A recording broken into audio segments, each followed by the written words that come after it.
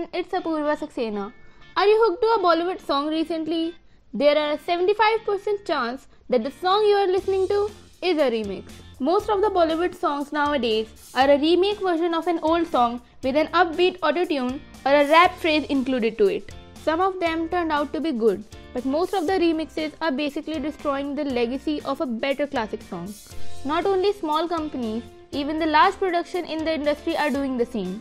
It is a cycle repeating itself. However, in older times, people just used the tune or lyrics for a few songs, but now it's like every movie has at least one remix.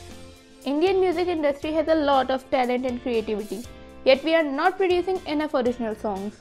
If you check the playlist of a recent movie, you can easily find remake versions of at least one or two songs in it. Do we really need these remixes? People still listen to 80s or 90s jukebox even when all these remixes are out there. It somehow shows that audience are still craving for old versions of these songs.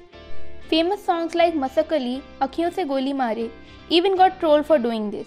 What they claim to be a perfect remodeling of a song might not go with the interest of the audience. For classic old songs, people are deeply connected with their music, tone, lyrics, and it's hard for them to get acquainted with the new one. Most of the Punjabi albums has been remixed. Songs of movies from 80s are being improvised with pop background. The famous Bollywood top chart song Ghungroo featuring Hrithik Roshan and Vaani Kapoor was remixed 7 times in the past. The whole playlist of movie Luka Chuppi has only remix songs.